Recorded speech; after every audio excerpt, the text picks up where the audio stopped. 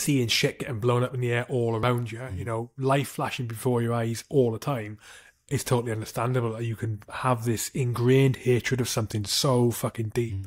And then that maybe becomes generational. I don't know what his kids like with it. You know, Right, and I think maybe like a difference for some of the soldiers, from what I could understand, um, you know, because going towards the end of the war, is that a lot of them kind of felt that, but then they end up in Germany, and so they're then dealing with they're seeing the cities, which shocked them, because you know you're talking about cities absolutely fucking leveled. what kids ended up in Germany? Um, sorry, the sol- the soldiers, a lot of the soldiers from Normandy end up, you know, in Germany at the end of the war because Oh, they sorry, fight yeah. through. Yeah, yeah, yeah. So they might have had a different experience to a lot of bomber crews in the sense that they then they then met the German people, right?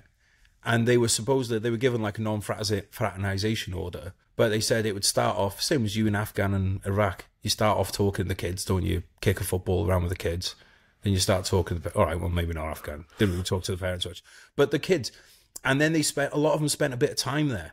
And I think maybe, and again, I'm sure there's plenty of them who didn't feel this, but a lot of the ones, a lot of the interviews and stuff that I saw, these guys, because they then spent that time in Germany at the end, they realized, you know what, like these people have had a fucking shit end of the stick too.